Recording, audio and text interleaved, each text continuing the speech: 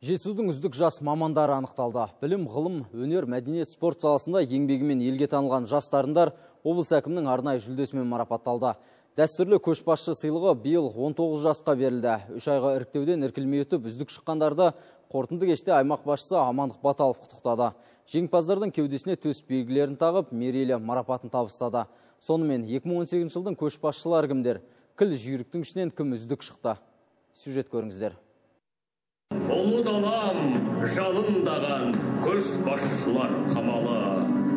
Жетісу жерінде бәйге байқау көп ал көшбасшының орны бөлек өңірдегі әрбір жастың арманы.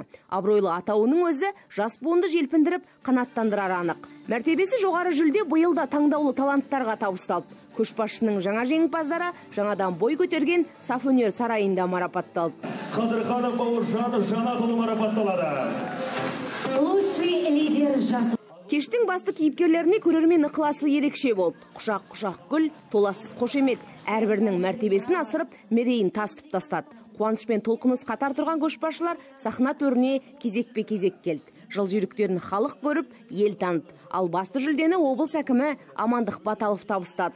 Аймақ басшысы жас буынға жүктелген міндет жауапты екенін жеткізді. Соны орындауда жетісулық жастарға жаңа серпін жемісті жұмыс тіледі. Біз бүгін дәстүр бойынша мереке қарсаңында белсенді жастарды марапаттау үшін бас қосып отырмыз.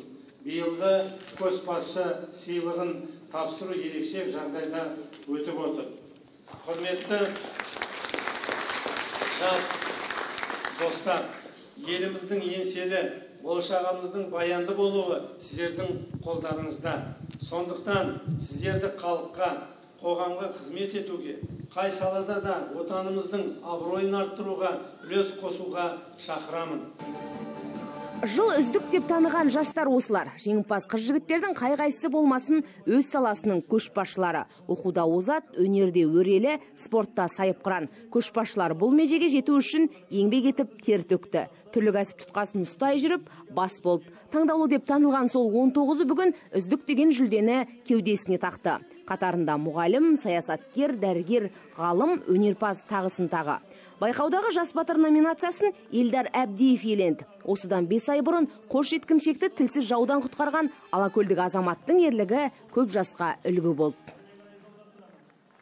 Әрқайсысы осылай істейді деп ойлаймын. Өйткені себебі ер азамат болғаннан кейін сен қашанда мысалы ер азамат екенін біліп отырасың ондай сәтте. Тек қана сол балалардан ойлайды екенсің басқа біреуден сене алмай отырмын әлі де бір.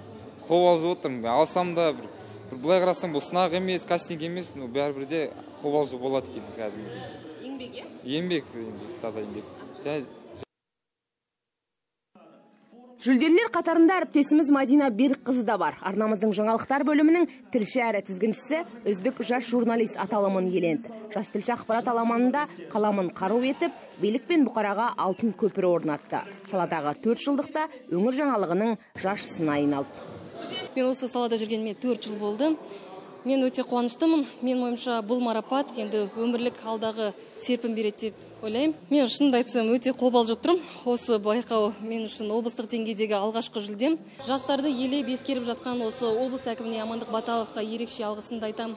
Облыс әкімінің арнайы жүлдесі биыл тоғызыншы мәрте өткізіліп отыр. Осы аралықта көшбасшы сыйлығын жүзге жуық жетісулық жас алып үлгерді. Осы он жылдықта байқаудың деңгейі мен талабы да өзгерді. Тиісінше жыл сайын абыройлы жүлдені алғысы келетін жас та көбейді. Биылғы сайысқа үш жүз елуден аса үміткер жұмысын ұсыныпты. Ал дәстүрлі байқау биыл үш жаңа аталыммен толыққан. Үздік жастар ісі жөніндегі әдіскер нұсқаушысы жастар үкіметтік емес ұйымының көшбасшысы аудандық жастар ресурстық орталығының үздік маманы. Соңғы аталымға сарқандық аслан нұрахметұлы лайық деп танылды.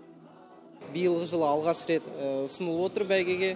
Сондықтан да бұл номинация осы облыс жастарына үлкен ынталандыру яғни мотивация береді деген сенімдемін.